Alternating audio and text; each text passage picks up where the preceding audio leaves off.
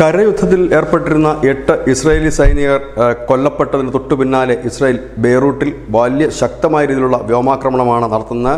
ഇതിൽ ഏഴുപേർ കൊല്ലപ്പെട്ടു എന്നുള്ളൊരു വാർത്ത കൂടി പുറത്തു വരുന്നുണ്ട്. ജനങ്ങളോട് ഒഴിഞ്ഞു പോകാൻ ആവശ്യപ്പെട്ടതിന് തൊട്ടു പിന്നാലെ ആയിരുന്നു ആക്രമണം.